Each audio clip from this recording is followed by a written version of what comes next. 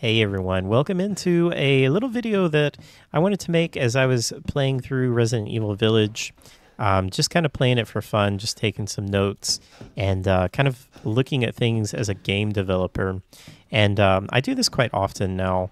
Um, I, if I've played through a game before, I might go through it again and really just kind of look at environments and think about how they were made. And um, I, I really wanted to look at this one because Resident Evil Village and all of the newer Resident Evil games are so incredibly well optimized. So I think it's um it's great to kind of study these and figure out how they might have achieved some of these results and how we can achieve something similar with Unreal Engine. So uh, Resident Evil does not use Unreal Engine; they use their own engine. But um, you know, modern game engines are similar in a lot of ways. And one thing that I notice in a lot of these scenes is um, they are probably using baked lighting. Um, and that allows them to get these really high frame rates. I mean, you can see that I'm getting 150 frames per second in here, and um, I've got everything maxed up uh, or maxed in terms of graphics, and I don't have a super modern computer. I mean, I, I have a 3080 for a graphics card, which is good, but I mean, it's not, you know, super brand new. It's not a 4090 or even a 4080 or something like that. And then I have about a um, eight or nine year old processor right now. So it's not um, state of the art by any means, but we're still getting incredible results with all of the graphics turned on, ray tracing is turned on. And so, how do they do that, right? And like I said, baked lighting is how they are achieving such great lighting in these areas. Um, because you'll notice that um, all of these light sources, so obviously we have a light source here, but if you look, we're not actually casting a shadow. And it's really interesting when you start to look at that. Um, when you start to look at games like this, um, I, have really started to notice like what lights are casting shadows, right? like this light right here, not casting any shadow. We've got a light over here, and then we have a big light over here. And again, we're not casting any shadows. So that means that all of these light sources are baked lights. Um, if we kind of think about that in terms of uh, Unreal Engine, you know, we have three three different kind of ways that we can set our lights, right? We have static, which is baked lighting essentially, and then we have stationary, and then we have um, movable. And I will make a lot more videos going into lighting, probably just make an entire series out of it because there's honestly so much to talk about.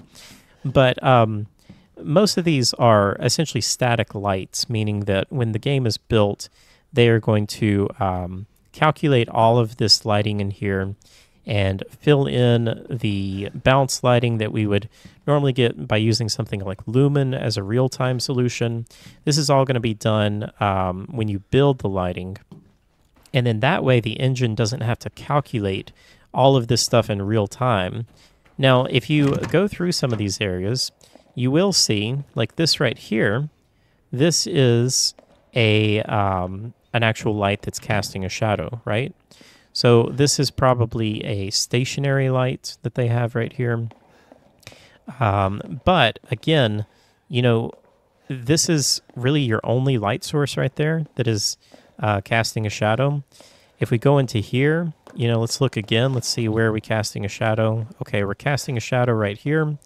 So probably maybe from this light. Looks like, yeah. So you can see we've got lights down here. None of these lights are casting shadows. This is not casting a shadow. I don't think this is. Yeah, so really we only have one light in here that's casting a shadow. They, they, they also have these big lights here. I don't know if that is coming from something like a skylight or um, if it is coming from, you know, maybe just like a, a spotlight or something that they have up there. It would be interesting to find out. I would guess that um, they might be using a skylight, but I don't really know to be honest.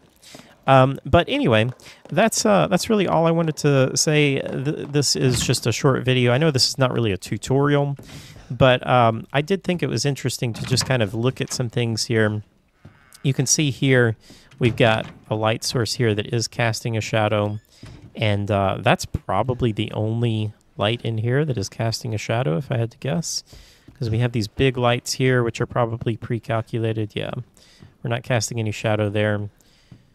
None there. So, yeah, they they probably put a big light here, or again, maybe it's a skylight um, that is, uh, or a directional light that is bouncing in here, and they're baking that light.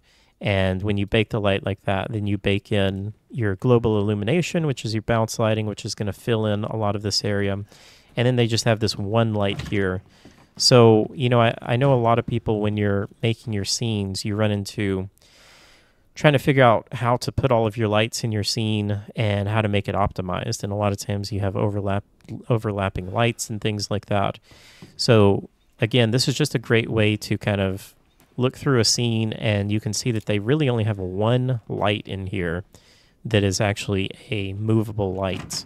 Um, so that's one of the biggest reasons why we're getting such great frame rates in these areas. So anyway, if you guys found this helpful, let me know.